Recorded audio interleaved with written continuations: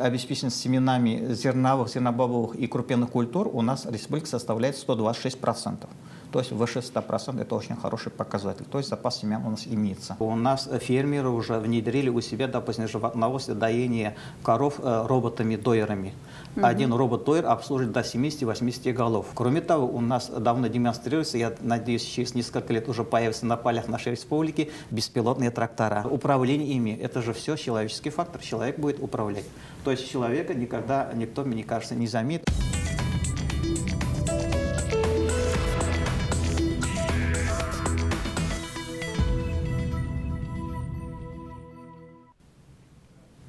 Зерно сомнения. Что будет с озимами? Это тема нашей программы. В эфире «Главные новости». В студии Динара Вурговт. Здравствуйте.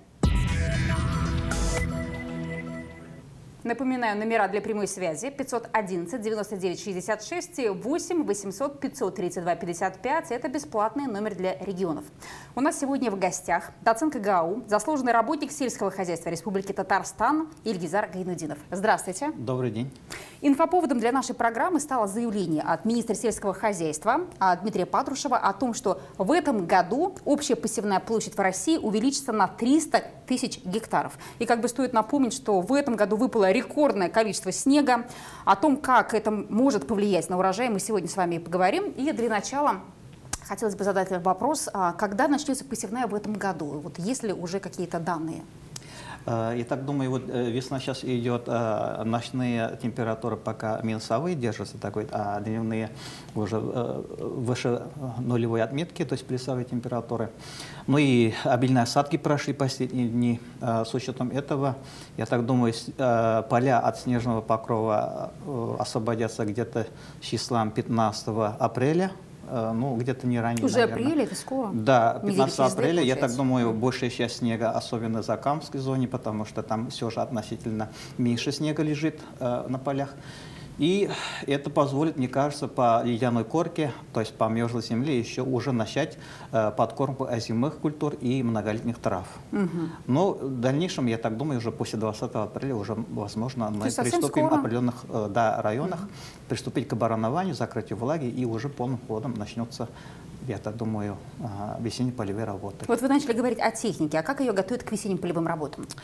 А, вся техника у нас по плану Республики Татарстан, а по данным Министерства сельского хозяйства и продовольствия Татарстан, необходимо было отремонтировать 9200 э, тракторов, это где-то 69% от э, их общего количества, и более 5000 э, посевных и почвообрабатывающих машин на состояние, по состоянию на 23 марта э, осталось отремонтировать где-то более 200 тракторов, э, в том числе 73 тракторов э, энергонасыщенных.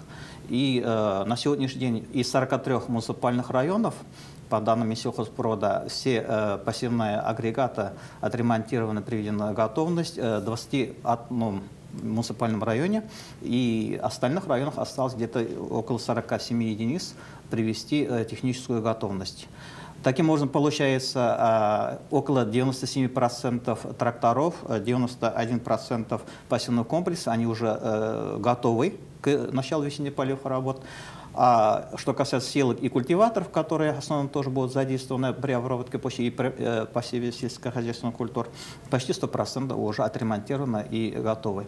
И Минсельхозпрод предпол Э, предусматривает с 1 по 12 апреля комиссионно э, осматривать готовую технику.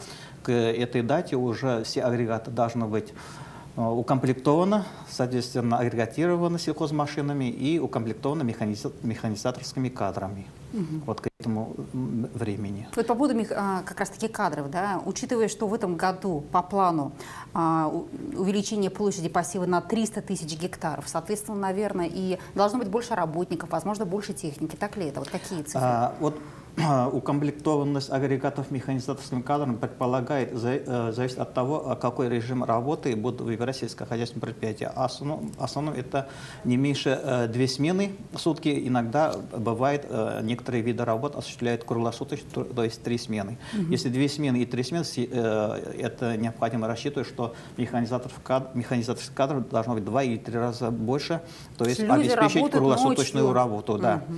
И, соответственно, а, что касается кадров, на сегодняшний день Республика Татарстан в сельской местности проживает где-то 900 тысяч э, граждан. Это где-то, э, считайте, Э, четвертый житель, это сельский житель, и около 10 тысяч специалистов, руководителей работают в сельскохозяйственном предприятии. А вот именно в сельскохозяйственном предприятиях АПК, агропромышленного комплекса, работает около 70 тысяч, 70 тысяч работников. Соответственно, а, в части подготовки кадров необходимо а, обратить внимание со школьной скамьи, потому что, вы знаете, президент Российской Федерации Владимир Владимирович Путин в своем послании сказал, что надо заниматься со школы ориентационной работой. В этом плане вот э, наш Казанский государственный аграрный университет э, в течение последних пяти лет эту работу начал, и, соответственно, на сегодняшний день у нас Э, совместно а, главами администрации муниципальных районов, 10 э, муниципальных районах и совместно с директорами школ, около 40 школах организованы такие агроклассы. И опыт показывает, что выпускники это этих... какого класса получается? Агроклассы. агроклассы. Ну, это, старшем звене, наверное, Ну, да? где-то э, восьмые, девятые и так далее классы. Угу. И, соответственно, наши профессора, доценты выезжают эти агроклассы и угу. По плану проводят занятия по агрономии, по автоматизации, механизации производственного процесса, по управлению сельскохозяйственным производством и по экономическим вопросам. То есть все делается для того, чтобы привлечь людей в эту сферу? Да, и чтобы они после окончания э, идут к нам, получать высшее образование по сельскохозяйственному направлению. То есть это очень хорошо. Где-то 65%, вот, например, Балтасинского района, выпускники агроклассов э, шли э, поступать э, именно в вузы и среднепрофессиональные образовательные учреждения для того, чтобы получить специальность по сельскому хозяйству. И вторая проблема, я считаю, необходимо работодателям э, воспользоваться вот той программой, которая э, существует сегодня, когда предприятие направляет целевую подготовку будущего абитуриента, и, соответственно, они обучаются и оплачивают стипендию 50% бюджет, 50% предприятия, то есть где-то 10 тысяч рублей. И, соответственно, затраты на содержание этого студента, обучаемого да, в ВУЗе, и, соответственно, связаны с э, производственной практикой и другими видами практики, которые они там будут проходить в направляющем предприятии, они все Э, дальше компенсируется э, из бюджета, то есть угу. по линии Министерства сельского хозяйства правительства Татарстан. Вот этим надо воспользоваться. И, конечно же, надо обеспечивать работодателям, собственникам наших предприятий, хочется им а, а, отдельно спасибо сказать, кто обеспечивает достойную заработную плату выше среднем по экономике, то есть 60 и более тысяч рублей. Только при этом условии, при высокооплачиваемой работе и нормальных э, рабочих э, местах, условиях. конечно, условиях э, и наши выпускники, конечно, будут возвращаться в село. Вот мы с вами говорим о том, как привлечь людей а, в сферу сельского хозяйства. У нас сейчас а, век высоких технологий, и во многих сферах роботы заменяют человека. А можно ли такое сказать о сфере сельского хозяйства? Конечно, у нас есть специальное направление, специальные э, предметы по роботизации сельскохозяйственного производства. Э, я э, даже скажу так, что у нас фермеры уже внедрили у себя, допустим, животноводство, доение коров роботами-дойерами. Угу. Один робот-дойер обслуживает до 70-80 голов. И, соответственно, поскольку здесь человеческий фактор отсутствует, необходимо этих роботов обслуживать. А что касается растеневодческих отраслей, при возделании сельскохозяйственной культуры для опрыскивания малообъемными растворами у нас давно используются уже беспилотные летательные аппараты, которых мы называем в простонародье дронами. Угу. И, соответственно, это э, не в военных целях используется, а в благих целях для выращивания сельскохозяйственных культур.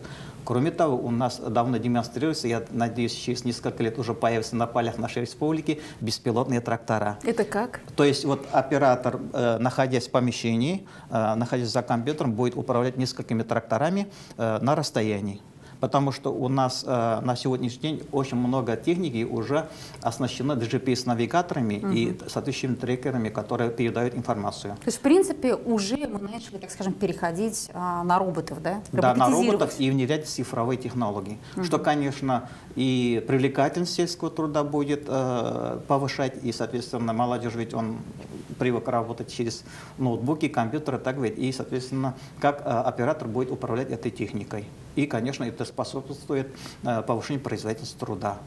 Но тем не менее, если я правильно понимаю, то есть полностью от человека, так скажем, отказаться нельзя будет. Нет, конечно, контроль нет. за роботами должен происходить. Обязательно, да? потому что обслуживание дронов, обслуживание беспилотных, э, беспилотных летательных аппаратов, роботов, дойеров, э, вот управление ими, это же все человеческий фактор. Человек будет управлять.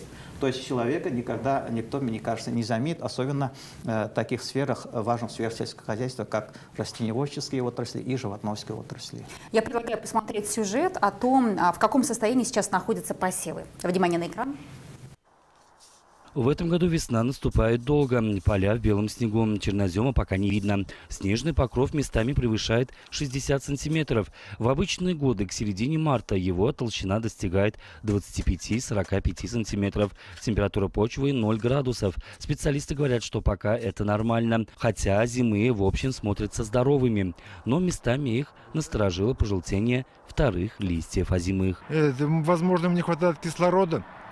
Или просто он это замерз. Ну, замерз не, это, это за- э, по признакам не похоже. По району озимые культуры посеяны на площади 16 тысяч 23 гектара. Из них более 15 тысяч гектаров составляет озимая пшеница. Остальное озимая рожь. Озимые тяжело переносили засушливую осень, и многие из них впадали в зимовку в фазе шильца. 603 гектара – это 4% от, п- это от, от посева зимых. Удовлетворительно 1805 – это 11% от, от посева зимых. А плохой, пл- плохие 3496 гектаров – это 22%. И есть посевы, которых не, в которых не было всходов. По словам специалистов, в хозяйствах с плохим состоянием озимых необходимо быть готовым к их повторному посеву. Для этого у них должен быть страховой фонд посевов. Рустем Ахмадулин, Ильнур Кадыров. Новости Татарстана. Озимая пшеница является стратегической зерновой культурой для России. Вот для каких целей она особенно используется? А, Действительно, озимые культуры у нас в основном озимая пшеница и озимая рожь, они являются стратегической культурой, потому что независимо а, засушливый год или, допустим, благоприятный год, даже в засушливых условиях озимые культуры э, дают где-то около 30 центнеров с одного гектара урожая, когда яровые там 15 и меньше могут давать. А, И, соответственно, для этого э, Российской Федерации под урожай 2024 года, по данным Министерства сельского хозяйства Российской Федерации, э, засеяно около 20 миллионов гектаров. Из них 17 миллионов гектаров озимая пшеница.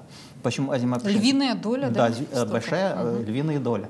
Потому что озимая пшеница – это ценная пшеница в основном, и, соответственно, а, они обладают, большая часть зерна озимой пшеницы, большим содержанием клейковины, а клейковина – это показатель э, хорошей, хо- э, качественной, хорошей качественной муки, и, соответственно, озимая пшеница, и зерно озимой пшеницы, и мука, соответственно, получаемая из этой пшеницы, идет на хлебопекарные цели э, для производства крупы и макаронных изделий.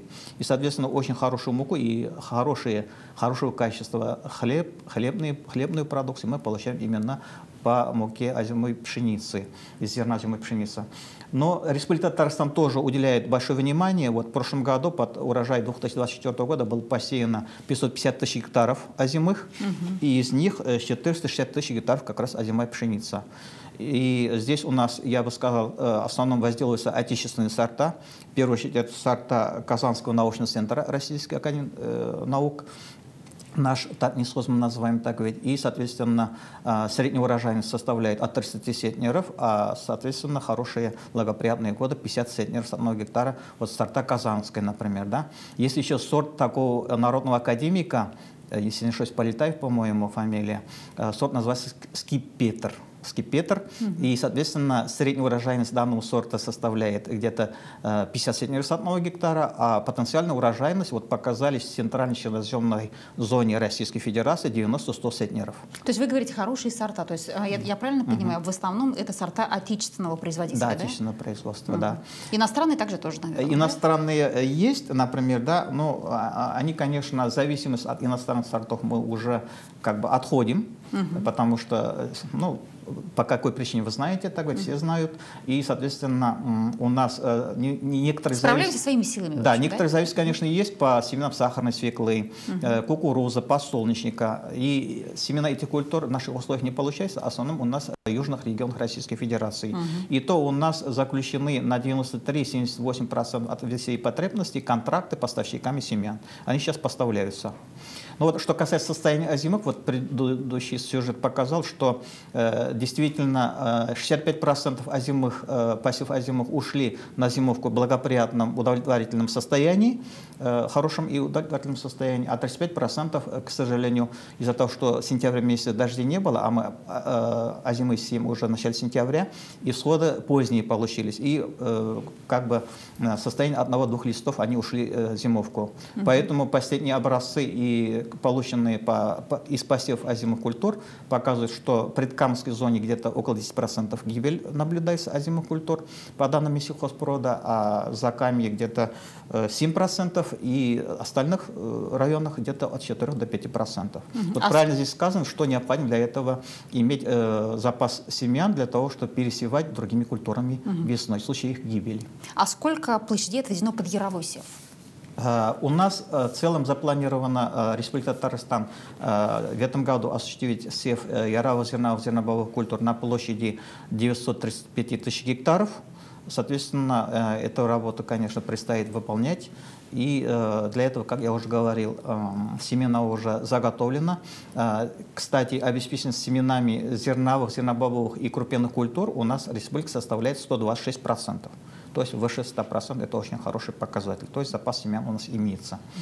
И э, что касается удобрений, потому что залогом э, урожая, хорошего урожая, кроме влаги и тепла, является, конечно, э, и минеральное питание растений. Так ведь? Поэтому минеральное удобрение поставлена задача 80 кг действующих на 1 гектар выносить в этом году. Пока заготовлено в среднем по Республике Татарстан где-то 60-65 килограмм действующего вещества. Ведь нам немножко необходимо поработать, потому что как только настанет весенне-полевые работы и подкормку озимых и многолетних трав, необходимо уже осуществлять э, азотными удобрениями. И, э, конечно, республике необходимо в этом плане поработать э, для того, что у нас, естественно, плодородие без внесения удобрений дает где-то 15 центнеров с одной гектара урожайности. А для того, чтобы получить 40 центнеров и более урожайности э, зерновых культур, необходимо вносить где-то 165-150 килограмм действующего вещества. И э, по уровню внесения минеральных удобрений пока республика у нас находится в 25 месте среди регионов Российской Федерации. Mm -hmm. Конечно, это, это, э, это неплохой, mm -hmm. учитывая, что у нас где-то около, наверное, 80 регионов, где, э, в общем, земледелие осуществляется на таких больших площадях. Да? Да. Угу.